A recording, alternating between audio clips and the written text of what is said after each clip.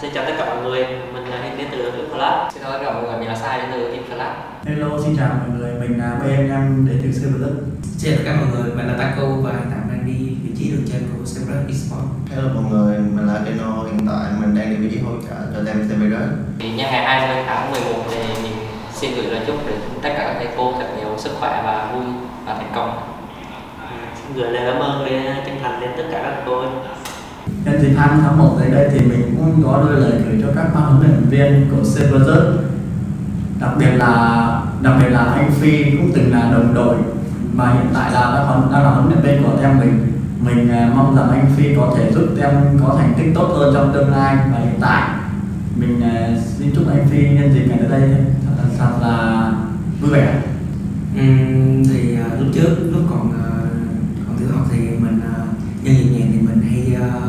mua bông, mua quà tặng cô, tặng thầy. Nhưng mà bây giờ đang trong môi trường esports thì em cũng không biết tặng gì em vi nhưng mà chỉ có uh, những câu chúc là ờ, chúc anh ờ, uh, giảm thành công, đẹp trai và có giờ sớm để thằng em đi ăn đám cưới. Và nhân dịp 20 tháng 1 này mình chúc cho các huấn luyện viên và đặc biệt là huấn luyện viên của Silverlet uh, có nhiều niềm vui và hạnh phúc và sẽ